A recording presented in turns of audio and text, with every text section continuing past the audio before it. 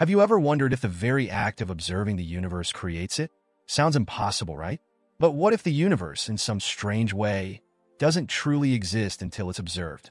This concept might sound like something out of a sci-fi novel, but it's rooted in discussions about consciousness and quantum mechanics.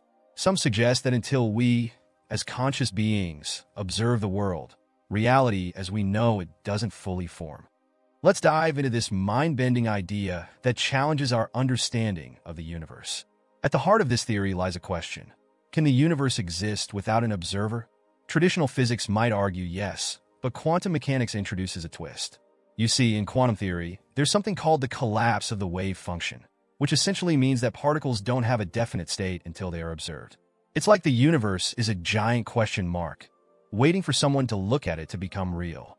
Now, critics of this idea would say, wait, we've seen galaxies billions of light years away with telescopes like the James Webb, and those formed long before humans existed. How can the universe depend on consciousness to exist? It's a valid point, but this is where the concept of consciousness takes a turn. What if there's a distinction between human consciousness and a more fundamental, universal consciousness? The idea is that while human consciousness may not have existed billions of years ago, there could have been a larger, more intrinsic form of awareness, something that has always been intertwined with reality. This brings us to the mind-boggling concept of consistent histories.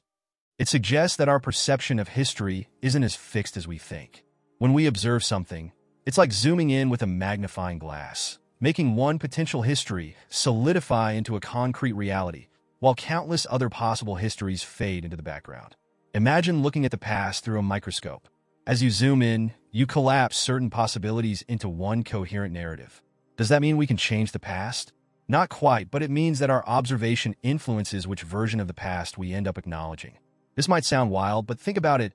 We already accept the strange behavior of quantum particles in the present. Why should it be any different when we apply similar ideas to the past? Some argue that the difference between the quantum world and the classical, everyday world might even depend on the observer. A being with a different perception of time could experience much more of the quantum world as their normal reality. While these ideas aren't mainstream physics, they help us explore the boundaries between what we know and what's possible. What is the line between the quantum and classical worlds, and where does it blur?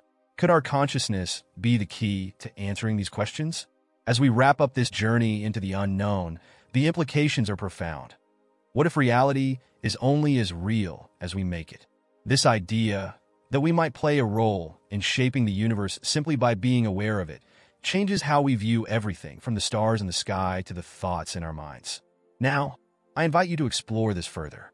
Join our reality creation membership for deep dives into concepts like these. We offer a free reality creation course, a blog full of mind-expanding resources, and much more. The links are below, and if you found value in this content, please consider subscribing and sharing your thoughts in the comments. What topics intrigue you most? With that said, thanks for watching, and until next time.